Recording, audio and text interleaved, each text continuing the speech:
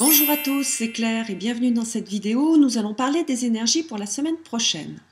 Alors pour ce tirage, j'ai utilisé le très joli jeu de Lucy Cavendish qui est l'oracle des dragons protecteurs.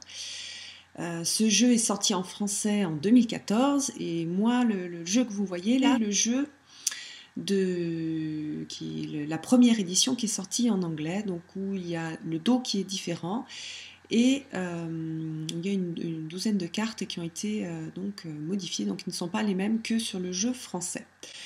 Donc pendant ce tirage, je vous montrerai lorsque je les ai, puisque moi je, n'ai que le jeu en anglais, j'irai chercher sur internet les cartes qui correspondent au jeu français. Donc, pour lundi mardi, nous avons ce joli dragon qui est le gardien de l'aube. Euh, et dessous, on a le tintement de cloche. Donc ce, dragon, c'est celui qui, va donner l'alerte quand nous avons besoin de soit d'avoir une prédiction, soit d'avoir un avertissement dans notre vie. Donc il est très lié à tous les signes que vous envoie la vie, tous ces hasards, euh, toutes ces choses que vous pouvez voir. ça peut être aussi sous forme de rêve, sous forme de sensation de déjà vu. Donc euh, on va avoir pour lundi et mardi euh, à faire attention à tout ce qui nous arrive par ces biais-là. Donc faites attention à vos rêves, aux sensations étranges que vous pouvez ressentir. Il est aussi euh, temps pour vous de vous mettre, enfin de rester en alerte, de se réveiller et de rester ouvert en étant centré sur la mission du moment. Donc ne vous laissez pas distraire. Voilà, donc attention aux signes de la vie et restez en alerte. Pour mercredi, jeudi, vendredi, nous avons ce dragon-là qui s'appelle euh, Cheng Wang, rayonner la lumière du cœur. Alors, qu'est-ce que ça signifie? Donc d'abord, euh, Cheng Wang, c'est un dragon qui fait le lien entre les systèmes de pensée de l'Est et de l'Ouest. Sur la version américaine, on voit bien c'est un dragon qui ressemble beaucoup au dragon chinois. C'est un dragon euh, philosophe, c'est un dragon qui apprend, euh, qui est un éternel étudiant et qui est aussi un, grand enseignant.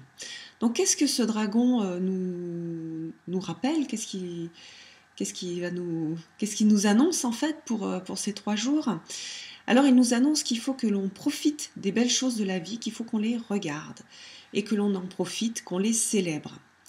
C'est vrai, dans nos vies, on a des, zones d'ombre, des zones sombres, et peut-être ces trois jours-là, on va avoir tendance, pour certaines personnes, à se focaliser sur ces zones d'ombre et, euh, donc à devenir un peu, à sombrer un peu dans le, pessimisme. Et le pessimisme, c'est une incapacité à voir euh, le côté lumineux de la vie. Donc euh, non, Cheng Wang nous dit non, regardez le côté lumineux de la vie on a appris des leçons de la vie, maintenant il est temps de se réjouir, de rire et de danser.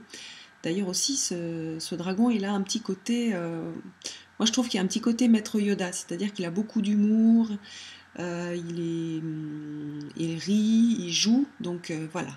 Réjouissez-vous et riez, jouez, profitez des moments avec les autres, ayez de l'humour sur ce qui peut se produire dans votre vie, c'est ça la, leçon, et ce qu'on va avoir à traverser et à, et à mettre en œuvre sur, ces trois jours, mercredi, jeudi, vendredi.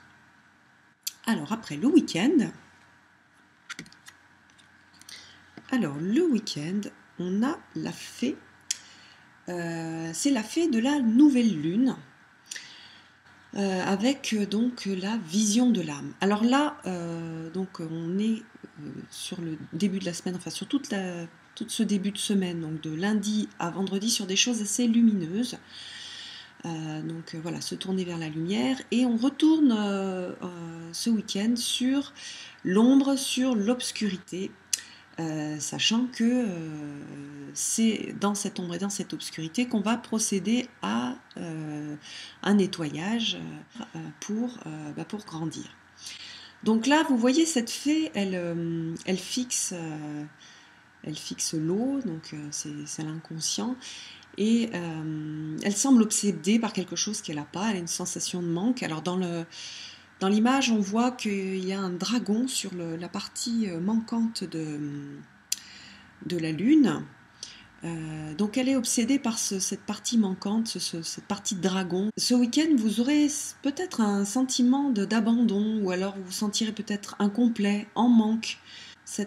Carte parle aussi de la difficulté à accepter la personne que nous sommes, avec ses, forces et aussi avec ses failles. Donc souvent, on va se focaliser sur les failles et on va perdre un peu l'amour qu'on peut avoir de nous. On peut aussi perdre la confiance que l'on a en nous, que l'on a dans notre intuition.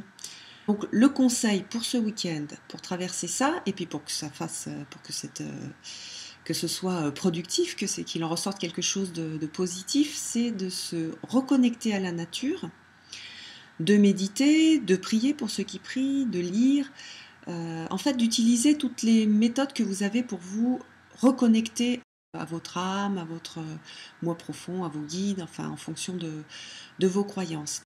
Ça va être très important de faire ce travail en conscience, euh, d'accepter les sentiments qu'on va ressentir, de s'aimer tel que l'on est, et de travailler ça justement, l'amour de soi tel que l'on est, et la confiance en ce que l'on est, et la partie lumineuse que l'on a en nous. Je vous souhaite à tous une très belle semaine et je vous donne rendez-vous pour une prochaine vidéo. Bye bye